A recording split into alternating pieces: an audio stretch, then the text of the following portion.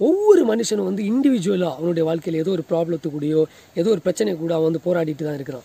நான் மட்டும்தான் இப்படி டிப்ரெஷனுக்குள்ளே இருக்கிறேனா? இல்லை நான் மட்டும்தான் இந்தந்த பிரச்சனைகள் ஃபேஸ் பண்ணுறேனா மிச்சம் உள்ளவங்க எல்லாம் பார்க்குறதுக்கு சந்தோஷமாக தானே இருக்கிறாங்க? எனக்கு மட்டும் ஏன் இந்த துக்கம் அப்படின்னு கண்டிப்பாக நினைக்காதீங்க அப்படின்னா.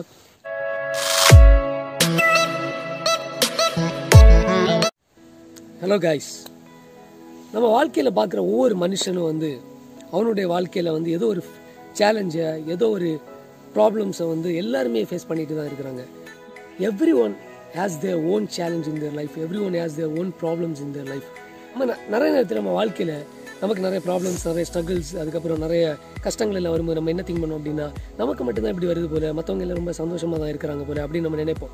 ஆனால் உண்மையான யதார்த்தம் என்னன்னு பார்த்தீங்க அப்படின்னா நாம் ஃபேஸ்புக்கில் வாட்ஸ் நம்ம மீடியாக்களில் பார்க்கக்கூடிய பெரிய பெரிய செலிப்ரிட்டிஸ் உட்பட ஒரு அடித்தட்டு மக்கள் வரைக்கும் எல்லாருக்குமே வந்து ஒவ்வொரு மனுஷனும் வந்து இண்டிவிஜுவலாக அவனுடைய வாழ்க்கையில் ஏதோ ஒரு ப்ராப்ளத்து கூடயோ ஏதோ ஒரு பிரச்சனை கூட அவன் வந்து போராடிட்டு தான் இருக்கிறான்.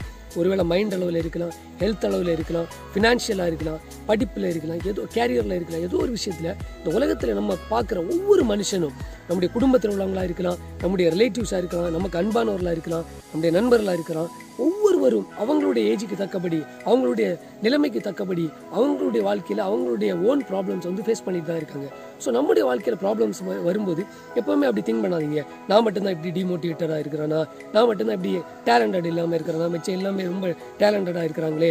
நான் மட்டும்தான் இப்படி டிப்ரெஷனுக்குள்ளே இருக்கிறேனா? இல்லை நான் மட்டும்தான் இந்தந்த பிரச்சனைகள் ஃபேஸ் பண்ணுறேனா மிச்சம் உள்ளவங்க எல்லாம் பார்க்குறதுக்கு சந்தோஷமாக தானே இருக்கிறாங்க. எனக்கு மட்டும் ஏன் அந்த துக்கம் அப்படின்னு கண்டிப்பாக நினைக்கிறீங்க அப்படின்னா எல்லாருக்குமே அந்த மாதிரி ப்ராப்ளம்ஸ் இருக்குது எல்லாருமே அதை ஃபேஸ் பண்ணி தான் வர்றாங்க. நம்ம ஒரு ஸ்டோரி பார்ப்போம் இல்லையா? ஒரு கடவுளை வந்து ஒரு சக்தி கொடுப்பாரு. இந்த பூமியில் உள்ள எல்லாரையும் வந்து அவங்க வந்து அவங்களுடைய கஷ்டத்தை வந்து ஒரு மூட்டையில் கட்டி ஒரு ஆலமரத்தில் தொங்க போட சொல்லுவாங்க. அப்போ வந்து எல்லோரும் அவங்களுடைய கஷ்டத்தை வந்து ஒரு மூட்டையில் கட்டி வந்து பேக் பண்ணி போட்டிருப்பாங்க. போட்டுட்டு வந்து எல்லாருடைய அந்த எல்லாத்தையும் வந்து சொல்லுவாங்க. உங்களுக்கு பிடிச்ச பையை வந்து நீங்கள் தேர்ந்தெடுக்கலாம். உங்களுக்கு பிடிச்ச யாருடைய கஷ்டம் உங்களுக்கு ஈஸியானதாக தெரியுதோ அந்த கஷ்டத்தை நீங்கள் தேர்ந்தெடுக்கலாம் அப்படின்னு சொல்லுவாங்க.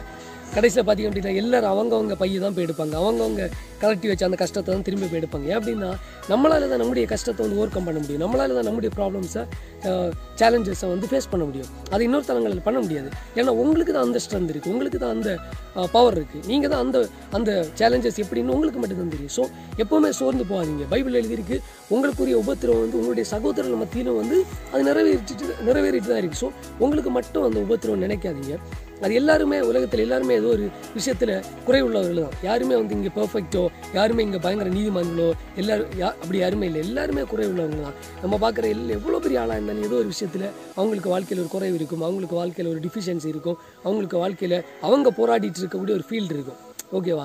ஸோ அதை நினச்சி நம்ம பயப்பட நம்ம அதை நினச்சி அவங்க எல்லாம் நல்லா இருக்கிறாங்க இவங்க எல்லாம் நல்லா இருக்கிறாங்க நான் மட்டும் தான் எப்படி இருக்கேன் அப்படிங்க போய் நினைக்கக்கூடாது எல்லாருக்குமே அவங்களுக்கு ஓன் பேட்டில் இருக்குது இது என்னுடைய பேட்டில் இதை ஓவர் கம் பண்ணக்கூடிய பலனை கடவுள் எனக்கு தருவார் ஆண்டவர் எனக்கு தருவார் அப்படிங்கிற பலனோட இதை என்னால் மட்டும்தான் ஓவர் கம் பண்ண முடியும். எனக்கு தான் அந்த ஸ்ட்ரென்த் இருக்குது எனக்கு எனக்கு நான் வந்து யூனிக்கான பர்சன் இந்த இது வந்து என்னால் ஃபேஸ் பண்ண முடியும். இந்த சேலஞ்ச் என்னால் ஓவர் கம் பண்ண முடியும். அப்படிங்கிற பலத்தோட அப்படிங்கிற கான்ஃபிடென்ஸோட நீங்கள் ஃப்ரெண்டில் ஓவர் கம் பண்ணும்போது கண்டிப்பாக எல்லா சேலஞ்சஸையும் உங்களால் ஓவர் கம் பண்ணி வாழ்க்கையில் ஒரு பெட்டர் லைஃப் நீங்கள் வந்து வாழ முடியும். ஸோ இந்த மெசேஜை உங்களோட ஷேர் பண்ணணும்னு நினச்சேன். இது கண்டிப்பாக உங்களுக்கு யூஸ்ஃபுல்லாக இருக்கும் அப்படின்னு நம்புகிறேன் ஸோ இது உங்களுக்கு பிடிச்சிருந்தா உங்களுடைய நண்பர்களுக்கு ஷேர் பண்ணுங்கள் சப்ஸ்கிரைப் பண்ணுங்கள் தேங்க்யூ கைஸ் பாய்